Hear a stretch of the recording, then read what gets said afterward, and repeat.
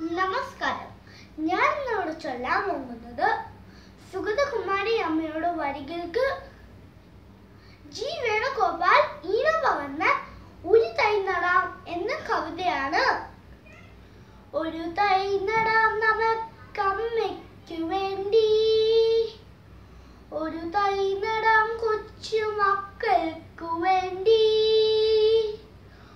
ഒരു തൈ നടാം നോടി കിളി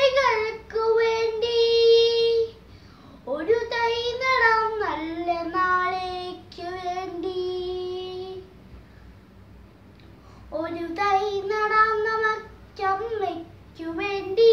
ഒരു തൈ നടാം കൊച്ചു മക്കൾക്ക്